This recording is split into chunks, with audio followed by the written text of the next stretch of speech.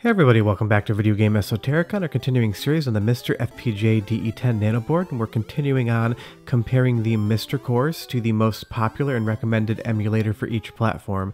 And today we're taking a look at Game Boy on SameBoy. Yeah, that's a mouthful, but the name of the emulator is SameBoy, and that is what was recommended to me to use by multiple people. Before we get too far involved, do me a huge favor, go down below, hit like, subscribe, and that notification bell definitely helps us out. And if you feel so inclined and want to support the channel, we got a Patreon link down below as well. But what I've come away with comparing the MiSTer Game Boy core to SameBoy is just how incredibly close they actually are. And it's a really interesting comparison to do just black and white. On the left we have MiSTer, on the right we have SameBoy, and you'll see that it is almost indistinguishable to tell any functional difference because a lot of times when we're doing these comparisons, we're talking about slight variations in color, depending on if we're using MiSTer or the emulator. But of course here we're not dealing with color whatsoever, and that's why I'm going to leave the Game Boy Color to a different video so we can more properly discuss that. But the shades of gray, the shades of black, everything in between look identical to me across both of these emulators. That is a good thing. That means they're both doing an excellent job. What I have noticed though is SameBoy likes to have a little bit of advance run ahead as far as frame timing is concerned.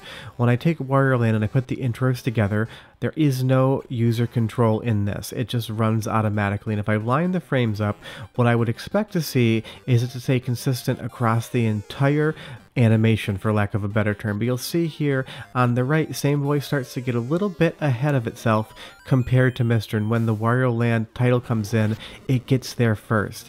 Now that functionally does not affect anything whatsoever as far as gameplay is concerned. If I didn't tell you that there was a two frame advance on SameBoy, you would never notice if you're just playing in normal circumstances. But what I'm finding with a lot of the software emulators is that they do like to have a little bit of pacing or timing issues.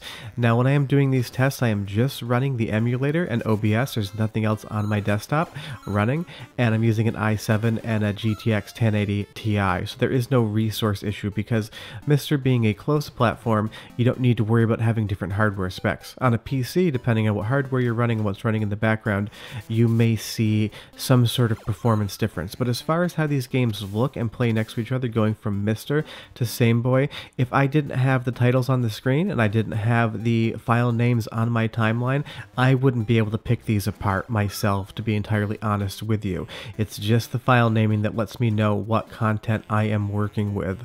And that's the great thing. That means everything is ultra consistent. I can cut from one shot to another or fade, and it matches perfectly and I do love that. So if you want to use software emulation for Game Boy, SameBoy is going to be an excellent option. But moving on, taking a look at something else, let's move over to Castlevania and you'll see again all of those, you know, towers in the background, the pillars, Corinthian, Ionic, I can't remember my art history enough to tell you exactly what they are, but it's very, very close. I would say SameBoy in some of the shadows is ever so slightly darker, but we're getting down to pure aesthetics at this point. But what I can say is, no matter which version I'm using, this crow always gives me hell, and it always has given me hell, and it'll never not give me hell. It's almost like the footage is synced up, but that's just because I play these games the exact same way every time I play them. It's kind of funny watching the different versions and realizing the one consistent in them all is the way I approach each game because you'll see here, I jump almost at the exact same frame from the rope onto the platform and onto the next platform. But what I want you to let you do is listen to the audio quality because that's half of everything. So go ahead and listen to first the MiSTer version and then SameBoy, and you leave me a comment below and tell me how you think they sound.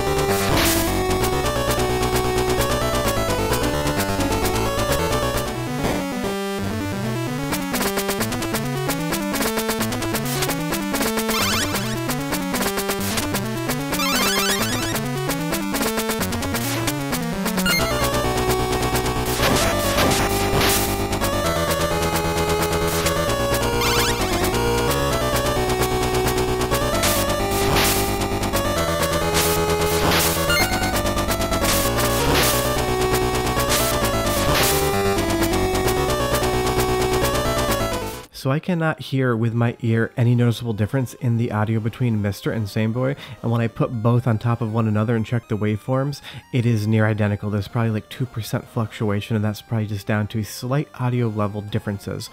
But again, as I mentioned earlier, the one difference that I can find is just the fact that Sameboy gets out of sync with MiSTer And it can be a little harder to tell with this text scroll here, but it's great to compare intros because it's some situation where you don't have user control, it is just playing itself, so it should be keeping the same pace. But as you see, as the text lines come up on the right, they're going to start to get a few pixels higher, and it is hard to observe, but basically several hundred is scrolling ever so slightly quicker. It's a small thing, but I do want to point out differences where I can find them. But again, when it comes down to gameplay, I can tell no perceivable difference. There is no lag that I notice on MiSTer, and there's definitely no lag that I notice on SameBoy. That doesn't mean I'm good at these games, I seem to die in the exact same spot sometimes, but whatever version I'm playing, I'm getting a really good Game Boy experience, and obviously both of them look a lot nicer than an original Game Boy screen, which is great. It's a little bit of a bummer that SameBoy, you know, loses those few frames or gains them, but like I said, it doesn't have any effect on gameplay whatsoever. I mean, this intro here for Trip World looks amazing on MiSTer and on SameBoy. So does it really matter that SameBoy gets ahead a few frames of MiSTer? No, it doesn't affect anything whatsoever. The interesting thing is, when I leave the audio on top of itself and both audio sources are running at the same time, those don't seem to desync compared to the video. So it just seems like the video, when it's drawing the pixels, when it's going through that code, likes to just get ahead ever so slightly. But again, it is completely meaningless to me, but if I didn't point it out, someone would ask me why I didn't. But you'll see here, in Sameboy, as you jump through the clouds, you get sprite flickering on your main character in the ears and in the body, and if we move over to MiSTer, we're going to get that exact same sprite flickering when we move our body through the clouds. So as far as that, handling what the Game Boy could and couldn't do, it is still identical. So the main takeaway here is, if you're going to buy a MiSTer just to play Game Boy games, you might want to try Sameboy. If you want to play Game Boy on MiSTer, it's an absolutely incredible experience. No matter how you want to emulate Game Boy, whether that's through FPGA, replication, or software emulation, you're going to have a great experience no matter what you do. There's so many great games and there's so many good ways to play them. It really is awesome that we have all these different options to check these things out. But I will be back next Thursday with another episode in this series, and I'll have videos on Friday, Sunday, Tuesday, and Wednesday as well. But leave me a comment down below and tell me, am I playing Dr. Mario on MiSTer or am I playing it on Sameboy? My guess is that you will not be able to tell. It's a 50-50 shot, maybe you'll just get lucky. If you have any questions or comments, leave them down below. I love chatting with you guys. Otherwise, I will see you next time. Enjoy the pills. Bye-bye.